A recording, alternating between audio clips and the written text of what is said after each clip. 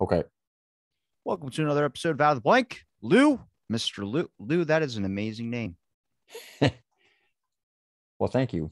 I'm a Sublime fan, so like Lou Dog or you know Lou, it hits really deep. You know, my parents weren't really original; they just went with Robbie. Then they had to name it right after the last name too, and I'm like, nice. But but it, is a musical name, though. I'm sure you're. Everyone says that he owns my Twitter. I can't have a personal handle because that man is just he's man. he retweets his own stuff over and over. I'm like, are you lonely, sir? He probably is, since I don't think he's made a record. And like my age here. because yeah, he hasn't made a lot of music before, not Yeah. not a long time. Um, but Lou, man, why don't you tell me a little bit about yourself? All right. Well, uh, I teach history at the State University of New York at New Paltz, which is about 75 miles north of New York City. And I've been there for almost 30 years now. And I teach uh, his courses on early American history and 17th century England. And teach- teaching a course this semester on the so called Age of Discovery. I'm interested in empire and cultural interactions in the period from like 1400 to 1800. Do you almost like the Captain Cook. do you like the experience of the growth, or do you like more of the concept of like just the interaction when it comes to like just seeing how like maybe cultural exchanges happen how like we start to see like Mm. trades of like silk landing in places where there shouldn't be silk but it, you start to realize it's all from trade efforts that start to happen like how did this get here i'm like i don't know why do we have dominoes in like there's dominoes in brazil i don't know how it got there but it just expanded and got there i think that's fascinating Yeah, kind. I mean, I mean, I guess it's kind of counterintuitive, but but these kinds of uh, what's the word I'm trying to think of? This, these kinds of uh, oddities are, really interest me. I mean, this, this idiosyncratic, idiosyncratic stuff, exactly like dominoes in Brazil. How does how does this happen? people like pizza yeah that too um and of course but of course also you get really grim stuff too because the history of enslaved africans and the trafficking in, in these people is a part of an integral part of this and it gets to be pretty pretty grim as i say and and that has to be addressed as well. Yeah it's it's hard because whenever like early american history my first thought when you said that was to start talking about like eh, because it's hard if you talk to an anthropologist or you talk to someone who studies indigenous studies they have two separate views on everything. Anthropology is more like you cannot think in the time period of how we do now for back then you cannot compare those two because the evolution of thought. But indigenous studies is like at least from the people i've talked to with it i bet there's a lot of good people in that craft but they're really about like you don't know anything about this. And it's like you're so involved into this you've seen so much bloodshed where you need the truth. Like when Mm-hmm. people found out that George Washington's sle- teeth weren't made of cherry wood, they were made of slave teeth. Everyone lost their goddamn mind. I'm like, hang on a second. Like, this is a different time period. You know, you have to think back then about what people knew back then. At one point, we thought that everything revolved around the earth, and we don't think that anymore. You cannot Mm. use your knowledge you have now to preface it that before. So, I mean, is there any like information or is there anything that you've like kind of found interesting that can actually might help out in a situation where people look at their country as this burn it all down scenario? I'm like, let's not do that. I actually, you know, I, I just bought a garden. well, well, the, the, the, the big the big problem with all this is that there's always this tendency to, speaking of what you know, to, to focus on the American aspects of things, when in a lot a lot of a lot of the stuff involved, it's the legacy of activities by Americans, people living in America, and Europe and Africa, and people didn't just arrive in America and just get going with themselves. It's, it's all part of this larger set of interactions. And and I mean, I read a bunch of ledgers and accounts of what contemporaries call the guinea trade. And human beings are are part of the they're like shopping lists. Like you, like your mother your mother sends you to the grocery store for butter and there are letters from the directors and or the managers of these companies or whoever is running these voyages to the merchants and the and the ship captains who are down there go here and get x number of and and they're very rarely called slaves in the 17th century. It's, it's al- almost always Negroes. Get so many, get so many here.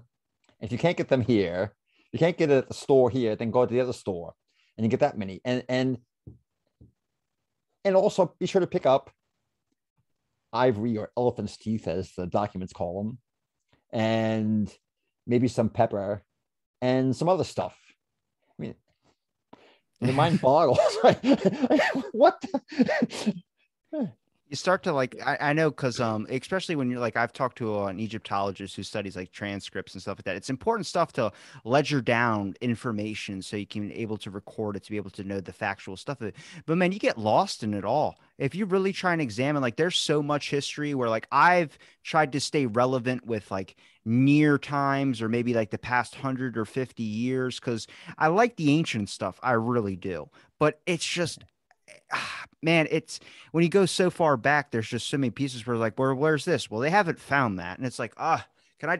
What about JFK? Oh, we haven't found that either. So that's a bad example. I'm like, Jesus, like, I can so I just want to know what's happening because I think like I've talked about before, is that there's a major identity crisis in a lot of people. And I think this comes from a place of not knowing who or what or where to go. And I think this is not new. This has always been around. There's always been that thing. And I think, um, I mean, the age of life, for instance, 20 late in your late 20s there are people that were discovering america and that were you know doing these amazing things. Now people in their late 20s they build a birdhouse and they think that like their life is like somehow insufficient because they're not capturing a country or something. I'm like well our age of life has expanded. So it's actually you're trying to compared to something where their lifespan might have been 50, 45 if they're like good and lucky, but now we're in our hundreds and our 90s. So there's an important understanding of who you are, that you're not that far off from the target. And I think that's what history can teach us a little bit too is that our evolution of thought has progressed. Our ability to understand has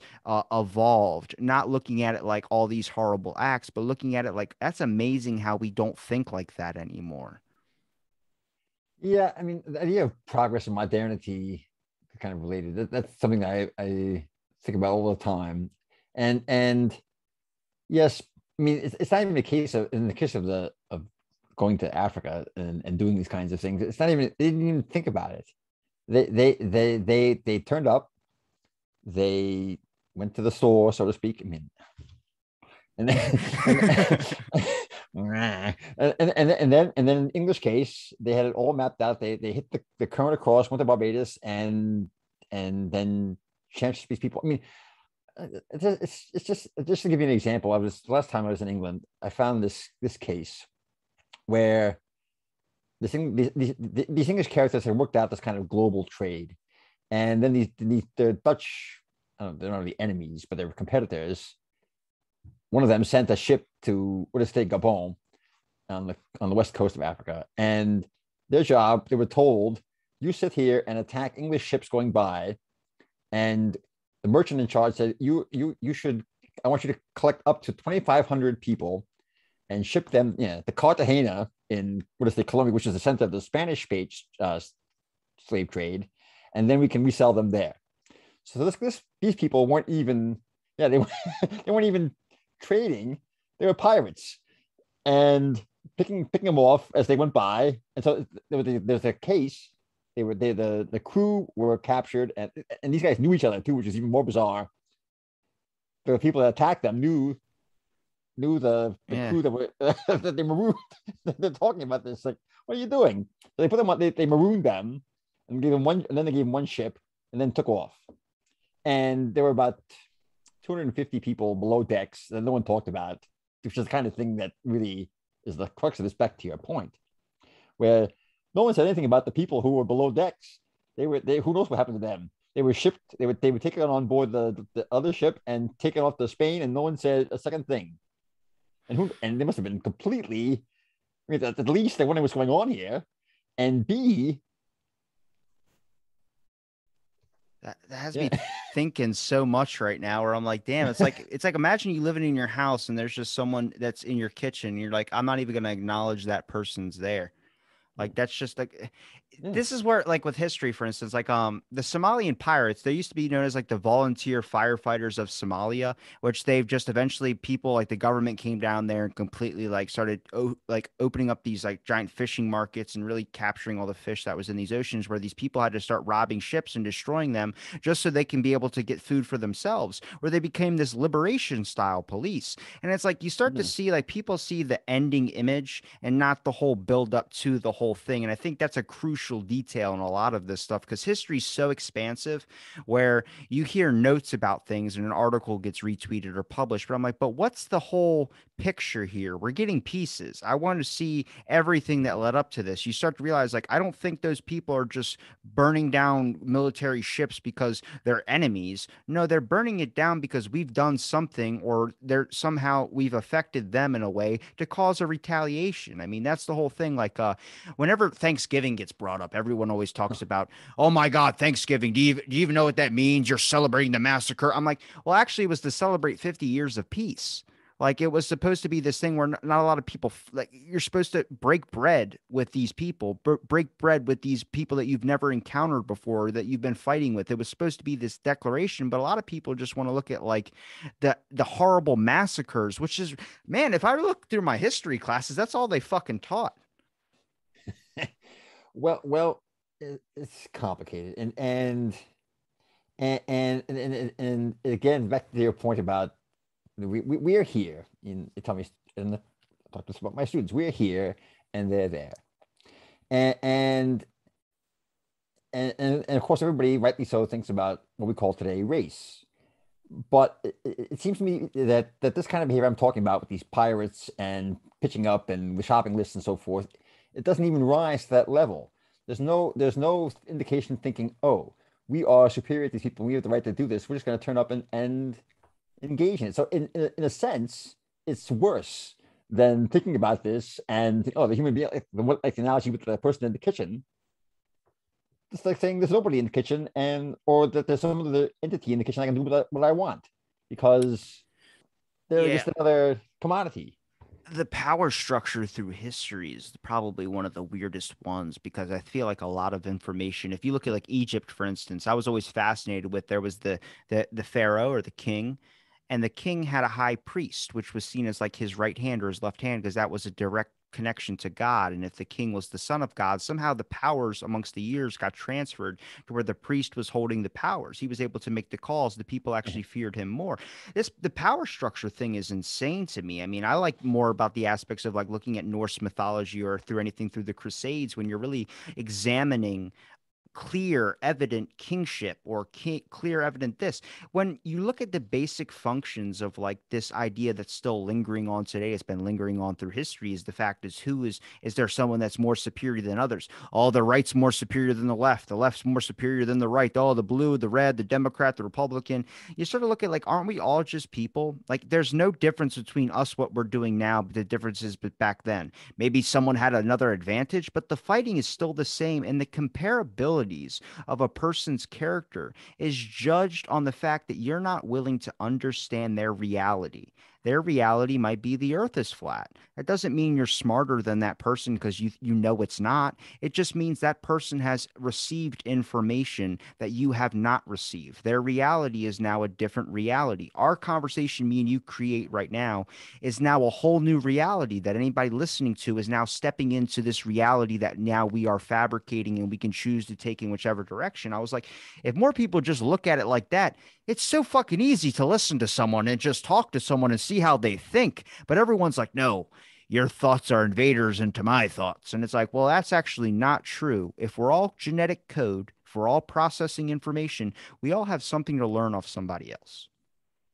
True, if you're well, and also, but also on the on kind of the flip side, people all, all people can be ambitious and greedy.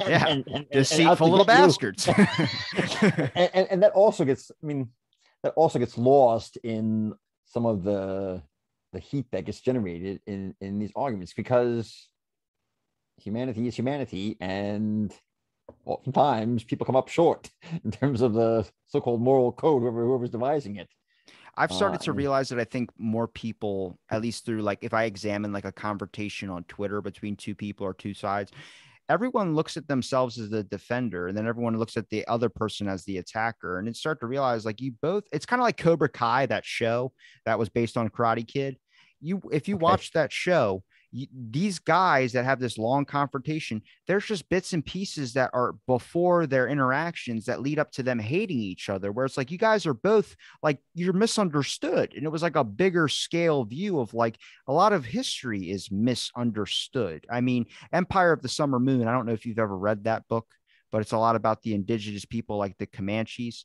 And oh, yeah people talk about like that study in indigenous studies that book is racist i'm like well it's recommended by jordan peterson and like 10,000 other people that are highly named people that say it's actually a very interesting and great book but you start to look at it it's like when you're involved in indigenous studies and you're talking about anything early american they get defensive because all they've seen is the slaughter. Rather mm-hmm. than seeing the other perspective of like taking a journey and not understanding and then coming across people that are eating livers out of animals. That's scary sight for people that didn't believe that type of thing. It's the perspectives. It's so hard to fuse the two because when you get dive into one, then the other one has to be wrong. And I'm like, that's not what it is. I think everybody's receiving the same journey, but the journeys are ending differently based on everyone's own reality that they're constructing. Yeah, and, and it's hard, especially for when when considering well, so-called Indians, because that's a generic term also for Europeans. For this, this course I was just telling you about, Native the Age of Discovery, it went to Polynesia and Indians. But but for for for, but for non-Europeans, especially in America, the Americas, and in the Pacific, the the first first off, it's because of the demographic collapse of many of these societies, we've lost a lot of evidence. And besides that, and I'm also teaching a course on so-called Indians of New York State at the, at the, at, as I'm speaking to you right now too, and and and absolutely people are want to be sympathetic to to horrors that that indigenous populations incurred, but but especially in New York State, those horrors didn't really get going until after American independence, and it happens quite quite quickly. But in that period from about 1780, 1775, 1780 to 1840, the whole their whole world is ripped out, and that that that that that almost revolution, if, if that's the word, the, the, the dramatic change in a short period of time, that's had of course had a substantial impact on subsequent understandings of this. And then you look back and the, the view is oh, this is horrible. But in, in the 17th century and in the 18th century, even up to the, even up to the War of Independence, especially the Iroquois, and as part of their drill, we can we can understand that they're in a position to manipulate, control to a very large degree economic and political activity, especially with other native groups who hate them, and with the Europeans. They enter, they enter, they enter into agreements. They go to war and they are to a very large degree able to again sort of convey the impression which was their ultimate goal that they are in they are in charge of things. And the europeans complained about this and tried to manifest their superiority in various ways. The reality was even in say 1760 there aren't very many uh, colonies or towns of european background in the interior of north america albany springfield's and dinky places uh, they're not very far inland, and if oftentimes if uh, Europeans wanted to build forts, for instance, first of all, they couldn't do it without Iroquois permission, or the Iroquois sometimes invited them to do that because they wanted to be able to control the Europeans. It's easier. You know what? We were talking about this the other day in class, and and the the, the Iroquois the Mohawks told the Dutch to build a, a, fort in Schenectady. I don't know if you know the geography of New York State at all, but it's about geography. about 20 if, if you know albany is between buffalo and boston well schenectady is about 20 miles west and mm. and albany is not in the so-called traditional mohawk territory. And the mohawks got tired of shipping to, Mo- to albany to do to conduct trade and they told the dutch you move to schenectady and make it easier for us. It used to be thought or argued that eh, this is an example of european imperialism where the dutch built this fort and they're encroaching on iroquois territory the reality is it's easier for us. We don't want to go to, to use in contemporary terms. We don't want to go. We don't want to go to the mall. We want the mall to come to us when we do our fur trading. Yeah. We want to. We want to be able to use you when we are fighting wars. We want to control access to you, And so you this movement, this construction of this town, kind of counterintuitively, is an example actually of I don't want to use the term empire, but of the Iroquois calling these shots. This is 1661. Even Detroit, even though the English, even though the French in the end built this fort without permission, in the end it was accepted because the French made the case that we that we're we're going out all this way out west, and it makes it easier for you all to trade, and you can, you know, at the end, in the end we don't get on, then we're cut off. Yeah, and that's that isn't this just an issue of just power of control? I mean, the same thing is happening today, just in a different form. I mean, there's people getting things that they want done all because of, and there's just a giant capture or expansion of land. Maybe it's in the name of democracy, mm-hmm. sure, but it's just a different form, man. Like, it's not about people it's it's people that just want power and look down at other people that aren't of their tribe. And that's not i don't know if that i don't think that's a race thing. I think that's just an aspect of just people just if you're not in the group you're not in the group.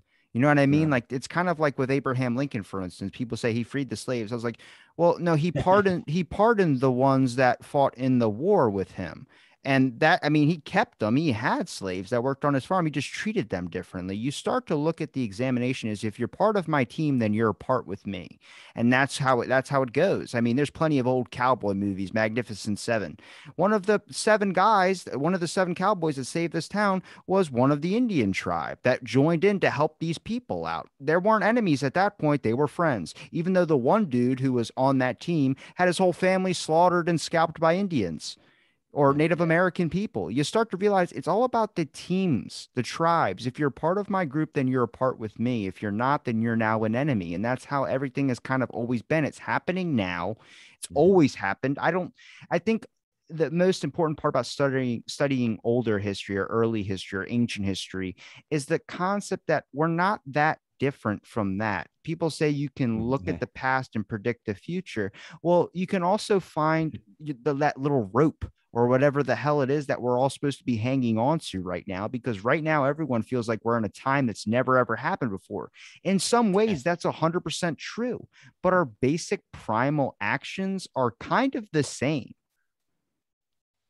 Yeah i mean another, another example and I don't, I don't want to be sanguine about the horrors of smallpox and so forth because there's no question that we're talking about uh, somewhere between 40 and 90% of the population of the Americas was wiped out by diseases, then you got to give those plague doctors credit on those masks. Holy right. shit, that's some scary stuff.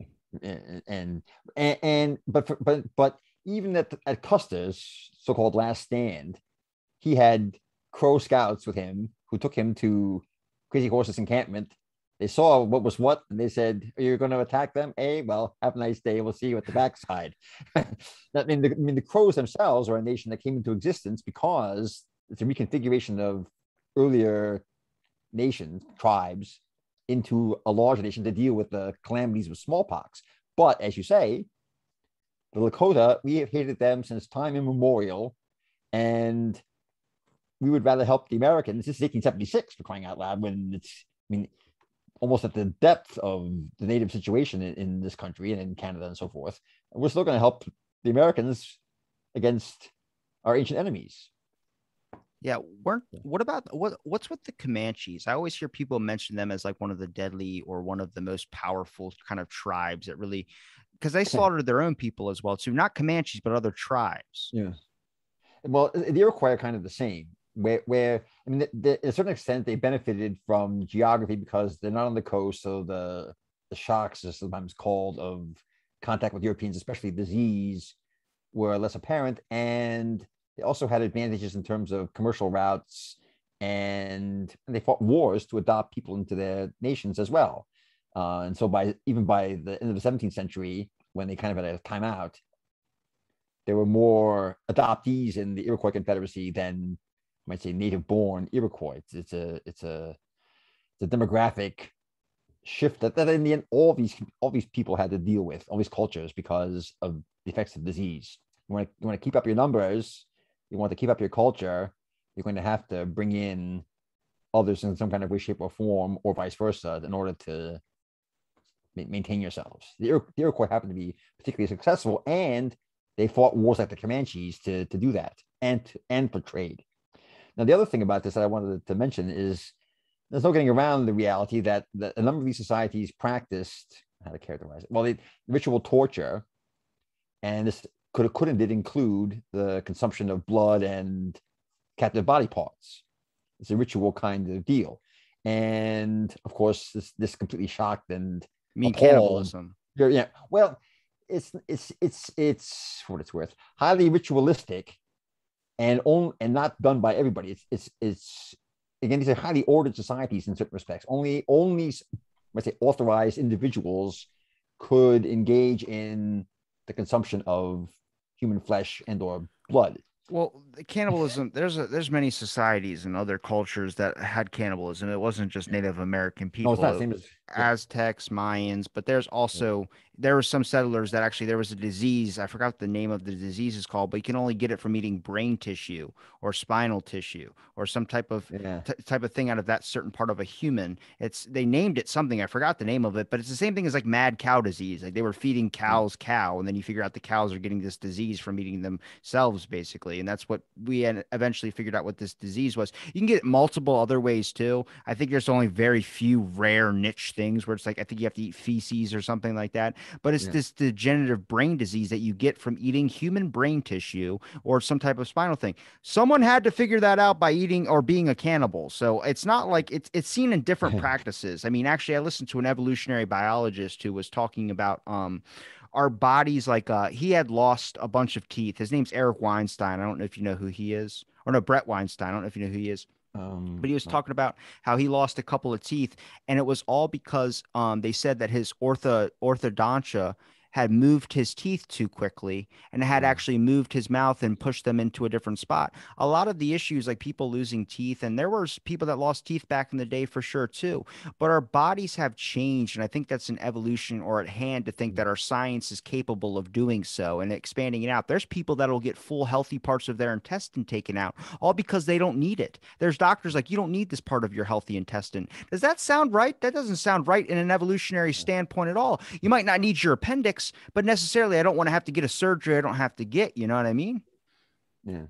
Um, yeah, I, I, I mean, again, this is a highly ritualistic and, and oftentimes, particularly sacred ceremonies, whites were barred from. We, we, were- we were doing our thing, and your presence is basically a sacrilege, so you're out. So we don't really have details about what was transpiring, unless I mean, and the, oftentimes the observers are secondhand, and of course they're appalled because they're like priests who were wonderful captives for this kind of thing. Because the idea was we want prisoners on the torture platform to express no no uh, no kind of uh, emotion, no fear, no crying out. Just and for the priests when they're captured, would say, "Oh, I'm suffering martyrdom in the wilderness for our faith. This is these are the proverbial hellhounds who uh who are out to get me, the spawn of Satan, quote unquote." So you just sort of zone out, yeah, and say the rosary and pray, and that, that, that and and the Iroquois love this because you're doing what you're supposed to be doing. You're you're really bearing up well under the torture. So in the kind of sense that I tell my students, this is kind of everybody's happy in this kind of bizarre cultural relativistic kind of way. The Iroquois have great captives, and and the priests are suffering martyrdom. And several of them were canonized in the 1930s. So Have you ever heard of uh General Butt Naked? no, So he was an African warlord, and there's a documentary on Netflix you can watch called The Redemption of Butt Naked. Basically, it was this guy who used to go into war literally butt naked, besides wearing sandals. But he would like eat people, you'd eat babies because they believed you would harness their power if you ate it. But he thought no bullets could hit him if he wasn't wearing any clothes. But he literally thought that he was like I, I think it was the, the devil or something like that. He thought, and it's weird because they ended up like he ended up turning to God and finding like Jesus Christ, and then becoming this thing that actually donates money to uh, disband um, kid child troops in Africa. He builds all these foundations to help these kids in this situation to make sure what he experienced was wrong. He doesn't want anybody to experience that ever again. But they were in a market filming this documentary, and he's like sitting down. He goes, and there was this meat, and when I ate it, I knew it was human flesh because I had tasted human flesh. And you're like, holy fucking shit. Like, that's some nut stuff, man. Imagine eating something and knowing that it was this thing that you used to eat that you know that these people are now making. yeah, it's uh, it can be tough to get your mind around. It's just history. It's like, Jesus, there's, well, there's so much. I mean, uh, and again, and and and students who aren't necessarily familiar with this, and, and I mean, it's also kind of there's also a kind of a, a, a pair of sort of tropes. That's the word where you have the it goes back even to the beginnings of so-called first contact. You have good Indians and bad Indians, and the cannibals, of course, are. it's hard to get past the eating people thing when you when I, right. I, I get it. if I see somebody eating somebody in the street, I'm like, that's bath salts. Don't do that. Remember that trend that was happening? People are eating Oh, other yeah, people's right. faces. right. Oh, good. So, so that that's that's just something that that back to our earlier dis- earlier discussion that you have to just under, try to appreciate, understand people within their and their cultures in this kind of on their own terms, because otherwise you're never going to get any kind of understanding about what they're doing and what they were on about and what they thought and what, how they behaved. That can be hard to do because it means shifting your, your own perspective and trying to get into their heads in their culture. I mean, there's no way getting around it. We, we are we are we, and they are they. Like even history, we're used to studying and understanding history in a linear kind of way. Many cultures understand it in a circular kind of way. We were talking about this in class last night, which is why it's fresh in my mind. And and the, the students are there, oh, many of them are going to be teachers themselves, and and then they said, oh, like we're talking about the conquest of Mexico, and yes, this is, again, it's a tragedy. Horrible stuff happened. da, da, da. And but if if if and it's, and it's entirely counterintuitive, the, the the important thing from the native perspective, possibly, is that it survived. It did not. It was not annihilated, wiped out totally.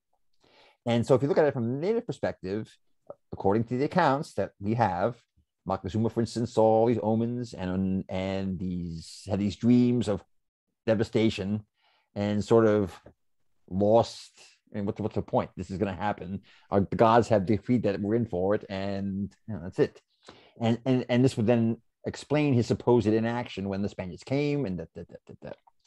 And then smallpox and destruction and the and and and the annihilation of the capital city and the rival Spaniards and that that that that. that.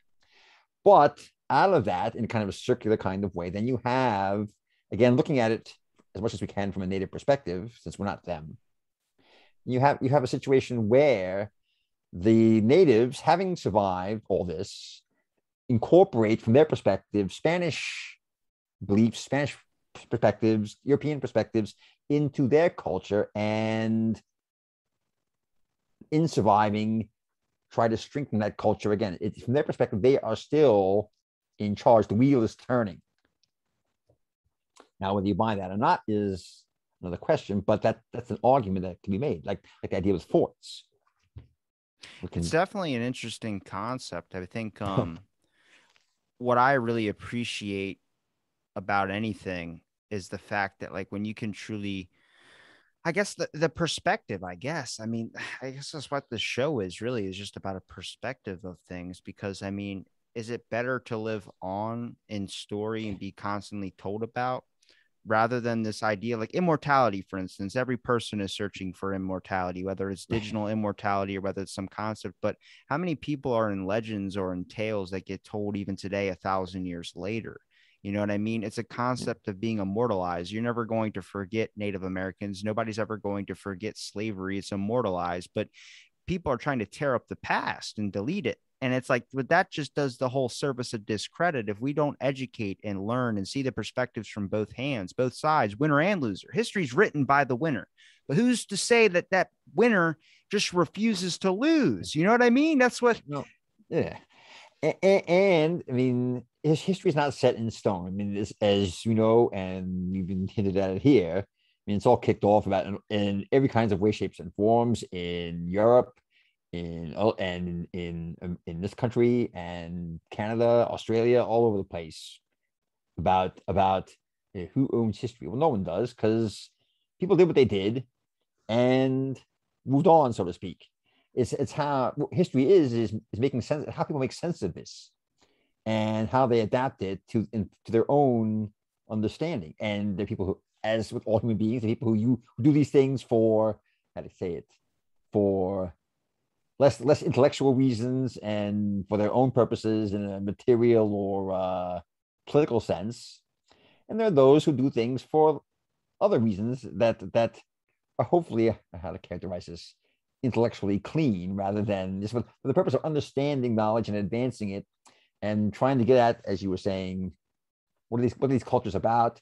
Why do they do things as best as, best as we can, given the realities of things like the character of the record and all this death.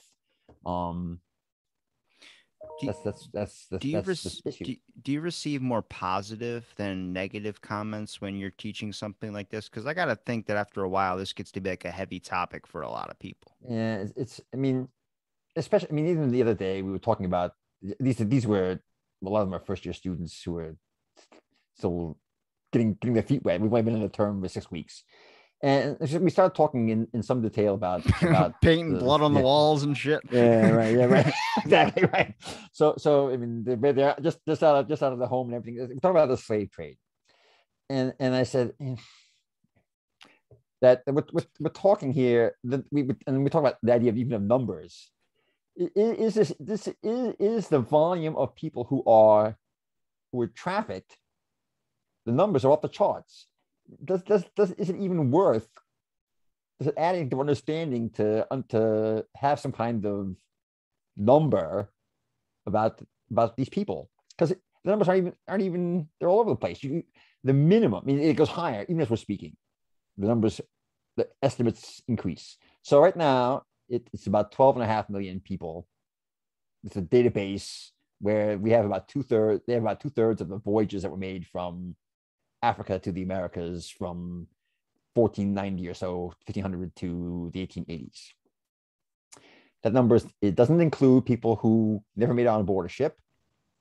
That people that that, that number does not include people who didn't even, didn't make it to a European port Uh, or European owned factory in a control factory in Africa. It doesn't include, of course, about a third of the voyages, so this number is decreasing. It doesn't include people who died on board ship necessarily. So the numbers could be 20 million. I was going to say numbers numbers seem excessive when we talk about something like amount of like slavery or amount of trafficking that happens because I think all any of it, even if it's one or two, is horrible. exactly. You, you, hit me with twelve million, and I was like, "Fuck, that's right. a so, big I mean, impact." I mean, we, eh, we want to get we want to have some kind of idea of the scale, but that doesn't really the numbers are so vast as to as to say, well, does that really lend any, shed any light on the character of, this whole practice, except to say that it's essential to our understanding of various other historical phenomena. Yeah. And you know, what do we do about that? Well, I got a big question for you. Did, did pirates exist? Of course they did. Okay, because every time I'm trying to get someone to talk specifically pirates on my show, like study a PhD in piracy, it's Ooh, just I know fucking. Several, I know several PhDs in piracy. Let's go! Every time I look for it, all I see is DVD rentals. I'm like, I don't want to pirate a no, DVD. No, I want to. I, want, I want to know Blackbeard. In, in, in, fact, our journal, I want to. I want to have a special issue on piracy. Oh, they absolutely, absolutely. I mean, these guys I was just telling you about that were hanging out on the coast of Africa. They're pirates. I meant like uh, uh, the, the, the, famous the, the, the, cutlass people with the the that, black well that kind of thing to me. that kind of thing. I mean, yes, the image is, is again kind of 19th century image, but their characters running around the Caribbean from the get. The, you can even say, though, speaking of the, the about revision of history and contesting history, that the, the the the incident that brought the, the first Africans mentioned at Jamestown in 1619 were brought there by pirates. Those those people were on board a Portuguese uh, slaver traveling from Angola to Cartagena again. This Anglo-Dutch crew bushwhacked them, bushwhacked the ship, and among other things, took took these people to Jamestown. Now, so all the time every depiction that happens of like Pirates of the Caribbean or something like that. Now, are these these pirates like these these ones that get told about like Blackbeard or whoever? do these types of pirates, those basic character ones, not the ones that you can see in like Somalia now, but just the pirates that from this time, are these people that were against the military and just trying to be vigilantes? Like, were they trying to be liberators, or was it a concept of being able to do the things that they wanted to do without anybody telling them what to do? Like how we have like uh, anarchy in a way. Well, there are people who who argue both, and to my mind, I mean, it's easy to romanticize pirates. You know, you're a kid, you read Treasure Island, and well, for an old kid now, if you're old now, you kid, you read Treasure Island, you've seen movies and so forth. But it's it was a hard life. I mean, you really have to use your wits. Uh, it's no holds barred. It's anarchy, and survival of the fittest. And and these people didn't live very long as a rule. Either they're well, either they're killed by their, their counterparts either on their own crew or somebody else, or they're killed by some ship in some ship attack that there's, there's resistance, or like like like uh, Blackbeard, he's hunted down and uh, done away with by the authorities. Although the colonial authorities weren't too keen on it, but they were told to do that. Thought he was it's, still alive. Imagine that. Just fucking. His ghost is around apparently. sipping a pina colada on an island right. somewhere. But the smuggling but, islands, for instance, like those islands were just they weren't people that were looking to kill people. They were just people looking to trade without having to pay this yeah. unreasonable tax that the military yeah. thought they could do. I mean, there's people that pirate movies on the concept of they don't want to pay the fee or do all these types of things because they've seen it as un. It's not fair to charge that. They want this to be free to use, even though it is yeah. a money making thing.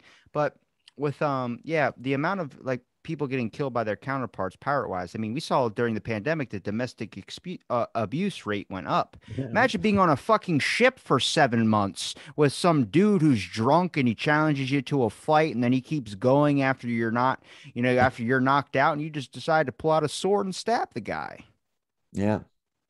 Well, I mean, there are bases and, and and places around, the, for instance, the Caribbean was good for this because there are all these tiny islands that you can hang out on pirate havens. Uh, and and places like what is today Haiti were founded to a degree by the word buccaneer is a French French derivative for to, to basically talk about people who roast pigs on these islands that outside of the outside of the uh, purview of, of authorities. And people came all over from, did this all over the place in the Caribbean. There, there are places like Venezuela where basically they're supplied by interlopers. Now, whether you call them pirates in the classic Johnny Depp sense or not, or Keith Richards sense. Jack Sparrow. But right, they're right. But they're people. They are people who are operating outside of the law, and they pop up in Santo Domingo. They op- they pop up in Venezuela. They pop up in Jamaica. They pop up in on Hispaniola. I mean Haiti, I should say. And it, this is a part of the course. And, and in some cases, they were welcomed, like on Jamaica.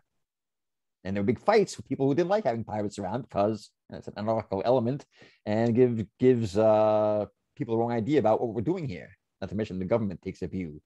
So there's a, there's a, these other kinds of other frictions going on too.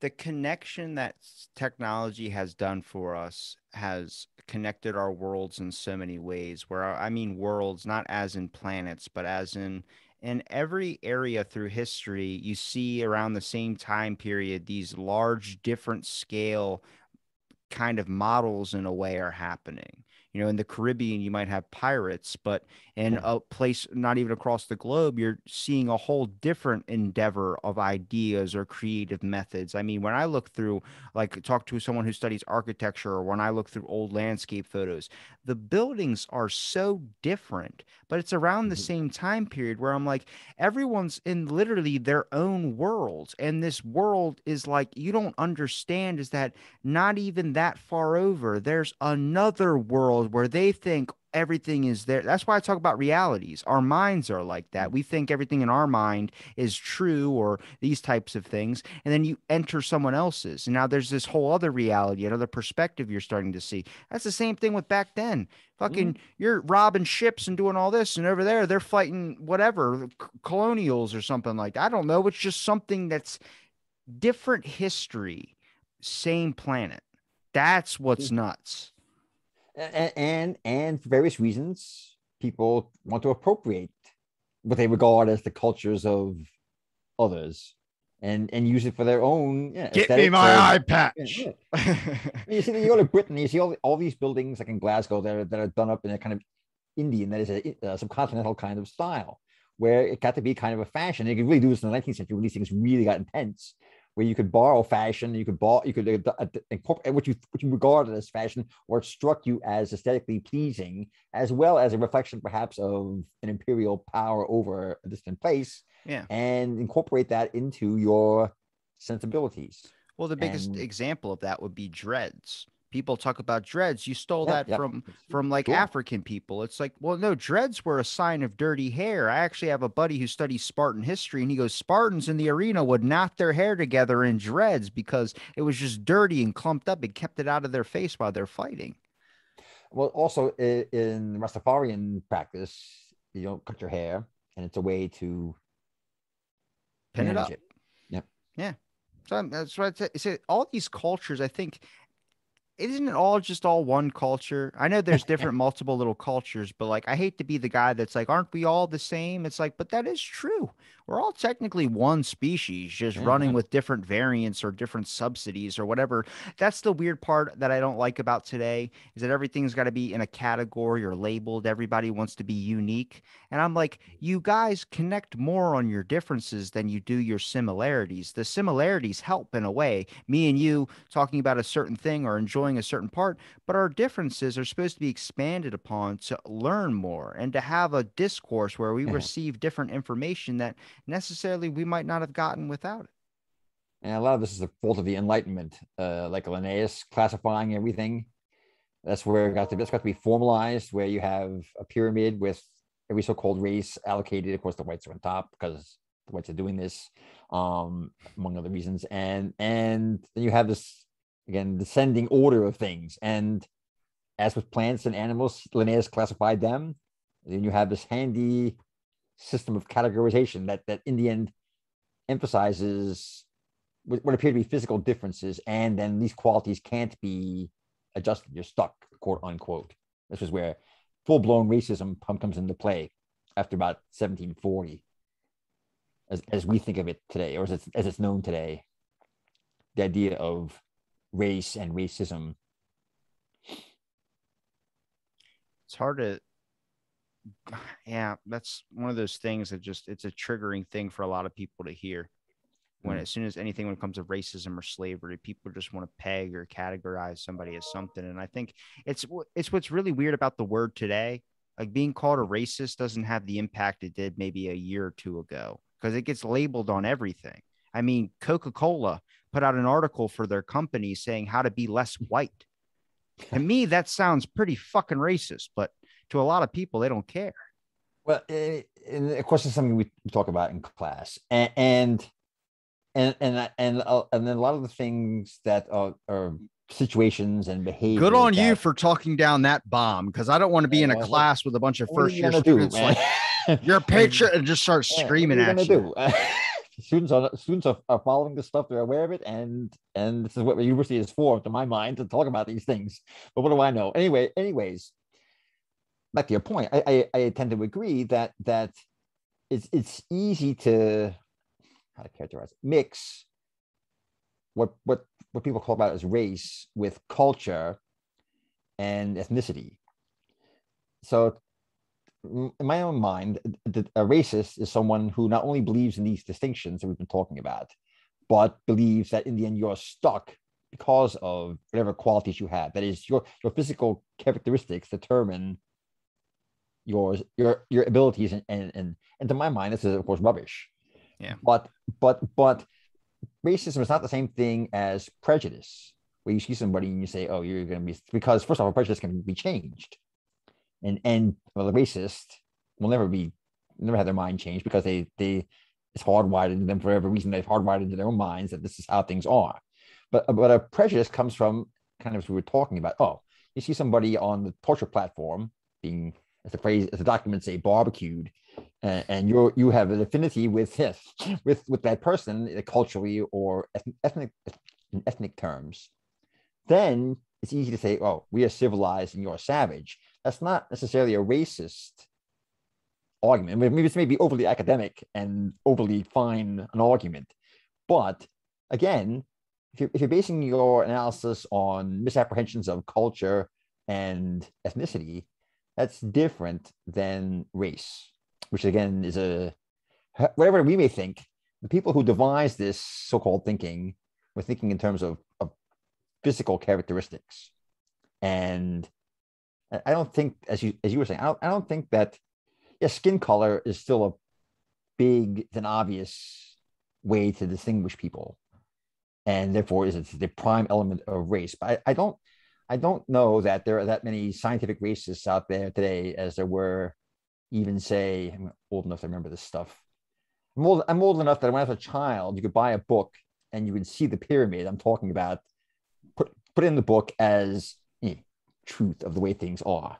So I, I, don't think we see books like that around today. Yeah, at least, at least, def- at least not in the going to a regular store on the internet and buying it. Yeah, there's there's uh, a I think there's only like a total of like ten or nine members left in the KKK, and that that they're they're all jokes. Like they're not. I don't think they're seriously into whatever that that used to be. I mean, it was a big issue for sure. Nobody's glossing over that, but it's just it, eh, eh, there's a point where I think you start to understand is like the divisiveness, eh, the divisiveness and the siding that happens. It's just translated to politics political stuff now. It's always going to translate to something different because people want to feel like they're part of a certain group and going against another group. That's why the Crips and Bloods are still happening.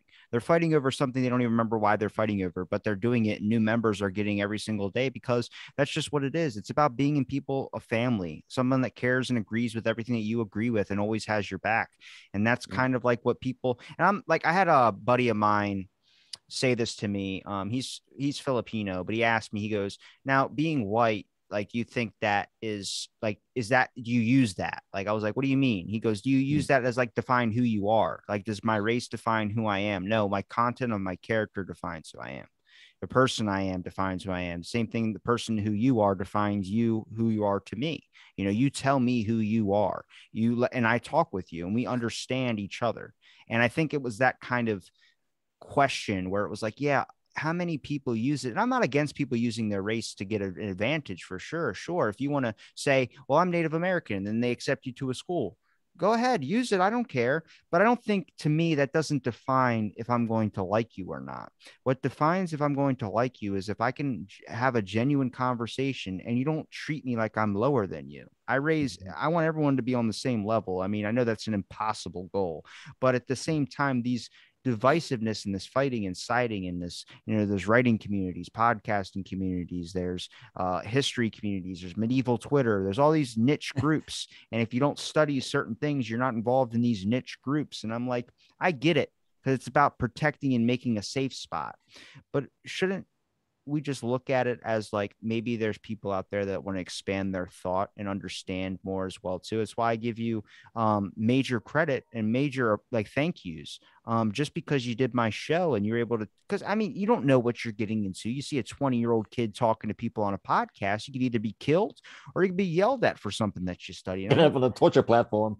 Yeah, I just I'm curious into this stuff because nobody ever wants to talk about this in a way that can be civilly discussed or an understanding or a learning process. Most yeah. of it comes down to, well, then you're just ignorant. And then it just gets to this point where people want to chop off your thought and dismiss it because it doesn't fit with their own. And I'm like, well, the whole point is that we're supposed to not have guards up. We're supposed to talk and just have that beer conversation. I mean, is that I think that's authenticity or that's just some point of caring and understanding that I think the world is lacking in a major sort sort of way. But I don't know. I mean, people used to fight and then drink a beer afterwards. I don't really see that all happening now. People fight now and then they'll try and ban you off something.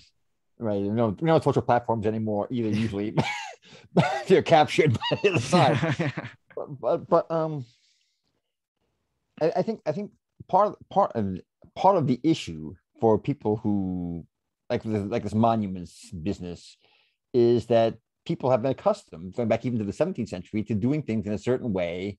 And this is how things have carried on. And we have kind of slotted in behavior and so forth and, and devised constantly otherwise scenarios that we expect to be perpetuated. And and their, their problem is because it's their problem is that having most particularly hauled millions of people from Africa to America against their will, well, the problem then comes to be shock the human beings. They don't like the situation.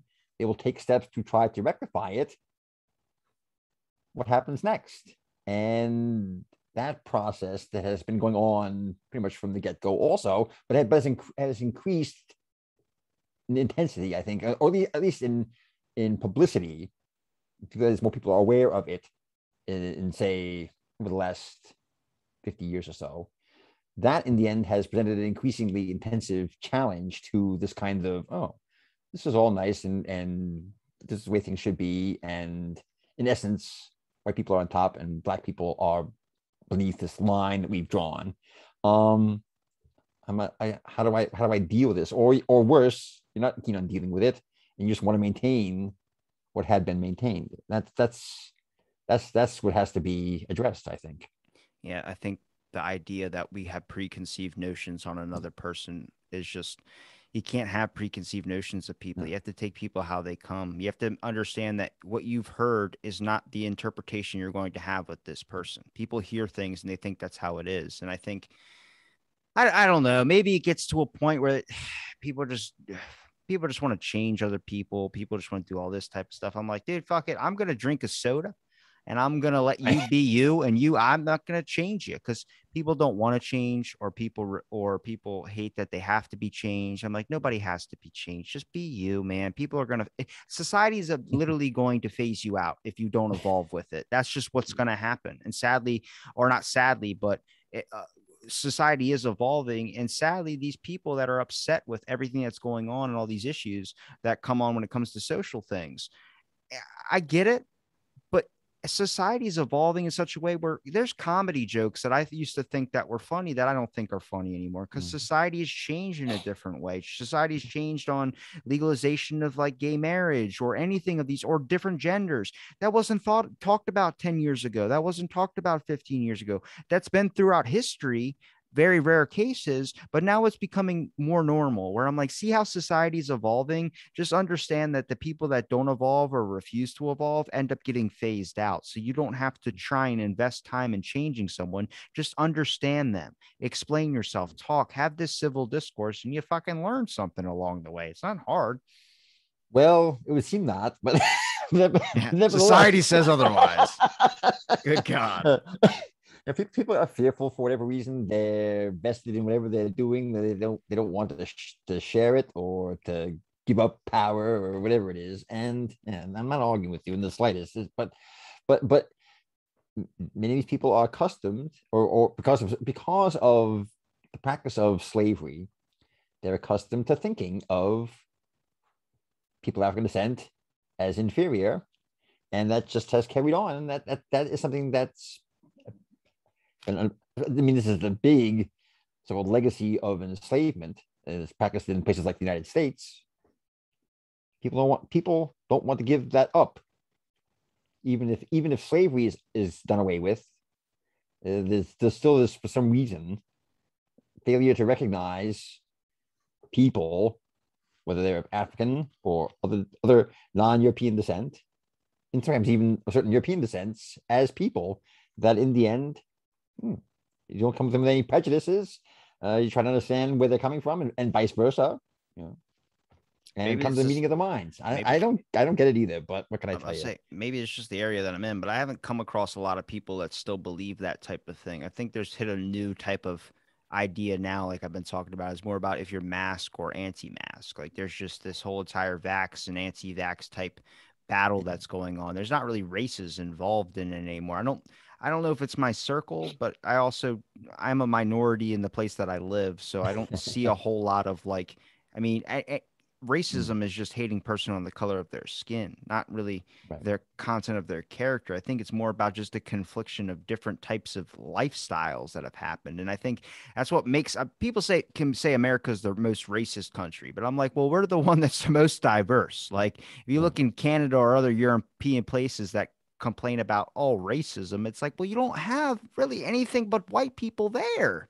And you start to realize it's just a, it, it's so hard to even live with your family for a very long time without trying to kill somebody. So the fact that we're all managing in this country already, or in any country that we're all living on this one planet together, is pretty fucking fascinating. Despite all the people bring up, what about the crime rate? Yeah, But I mean, it could be worse. There could be Mm. purges every single day that could be happening, but it's not happening. And actually, surprisingly, when I go to the store, it's more like, hey, open up the door for someone. When you say some, hear someone say thank you, you're like, Yeah.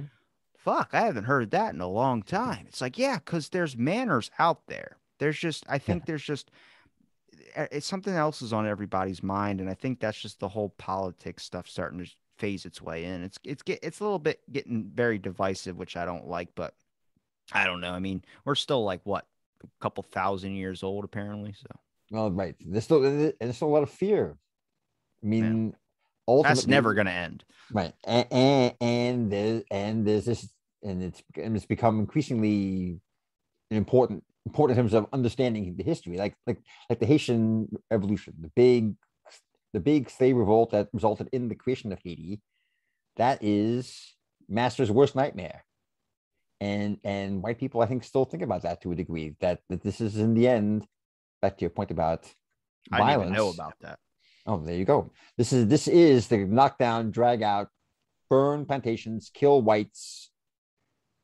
And it's that's a long time. There was a bit ending a full a war that dragged in other countries because they were they were keen to keep this at best on on the island or in the colony of, of Haiti, and not spread to say Jamaica, and it resulted in the creation of a republic that exists today. Although the French, in granting independence in the end to Haiti, received oh some ridiculously astronomical never amount- heard of amount this. of payments in gold. It just ended in the 1950s.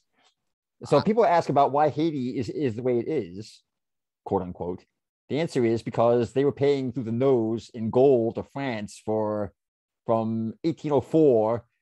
I want to say to So blame the French. Why are you blaming Well, white it's people? always, it's always, you know, so it's always a safe rule in history, but Oh no, my but, but God. nevertheless, that aside, that that is a main reason why the Haitian Republic was under this kind of economic hardship right from the get-go. They had to make these reparation payments, and again, they were huge, and they're, they're on the web somewhere. But um, and this went on for 150 years.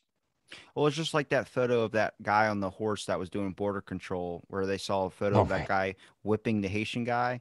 Did you see the real photo though that came out later, where they No, actually they photoshopped the whip to hit the guy when the whip it wasn't even a whip it was reins for the horse. The dude had the guy by the shirt. Then there's another photo later. The dude openly spoke about this. He's a dad with kids. He was giving the kid water too as well.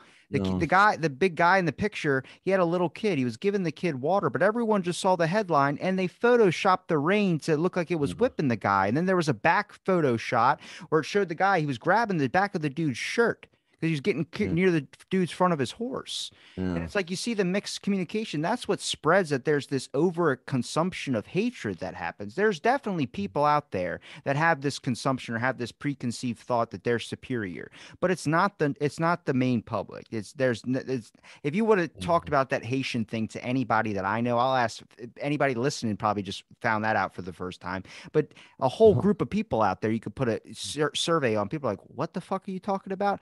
It's not on nobody, and nobody's thinking about that. Nobody even, I don't think a lot of people remember that unless you specifically study that. I think this idea that everyone is racist is nuts. I think it's just about your tribe. And sadly, your tribe is now your political sides. And if, and if the tribe, so to speak, has created a situation where, well, first of all, they've created another tribe basically in order to serve that tribe. There are cyborgs out there. There's a whole race of cyborg people. Well, that is in the end the next sort of step. You use robots and so forth, right? To yeah. Are you AI or not AI? That'll be the next racism card. Mm. And and in the end, like there's a Star Trek years ago, Next Generation, where Data was put on trial and so forth. Anyways, or whether he was a human being or not. Anyways, so so, but that's the kind of thing that that that there there came to be a need for labor, manual labor mostly, agricultural labor in a colony, and and this was a this was came to be a convenient, ready way to do this and can make a lot of money enslaved Africans were expensive, and the slave traders made a lot of money. About about you, could you could purchase a, an enslaved African in say 1685 for 20 pounds sterling. That's real money. That's that's the average salary of say a cleric in the, the Church of England at the time. The whole for a whole year. Oh, guess guess there's another guest.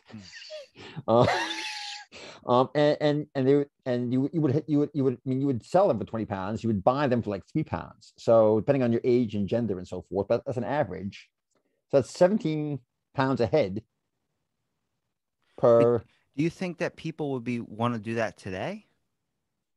I think if they could get they do it with today. If they could get away with it, I think they definitely would do it.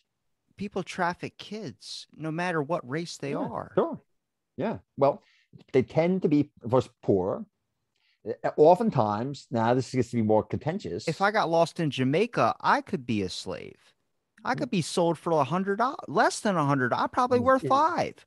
Well, well, that's more contentious because sometimes families either can't feed children and or they need extra money even today and they, they, they end up in these rings. There there was a case i guess it's been a couple of years ago now where there were children in a boat off the coast of africa. They came from if i recall correctly oh it wasn't it, it wasn't ghana or one of the larger countries but these were children who had been purchased and were being shipped to another place. And and they were they either ran out of fuel or somehow came to public attention. But this is still going on. Yeah, I don't know if that's racism though, because I had a No, guest that was um my third episode. Her family sold her to be married, and she's from Guyana, Yeah. where she was sold for like I think lit- literally no joke, like two goats and like a chicken or Mhm. something like that. She Mhm. talked about that was her first arranged marriage when she was like 14 years old. It Yeah. happens no matter who you are. I think that just goes on in these Oh, whatever Oh, yeah. you want to call third world countries that don't have the benefit or luxury of having whatever education or information or whatever society has standards wise. I don't like the roll of the dice type method that Yeah. people talk about with countries because I'm like Africa had gold and all that stuff. That's why like it was so hard.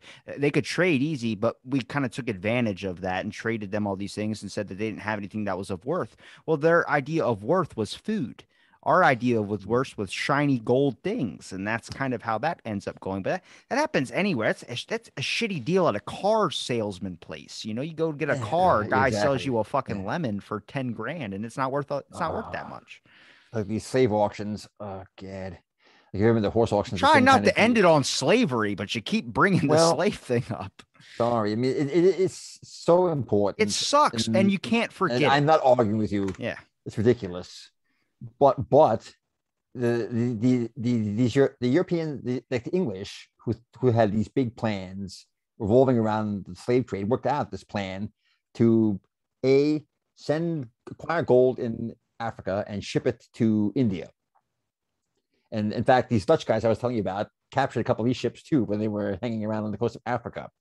Then then they then they would use the, the gold their factors their traders in india would use the gold to buy indian fabrics that african merchants liked and those fabrics would be and other and cowries and other commodities in india would be exchanged for african commodities that would include enslaved africans.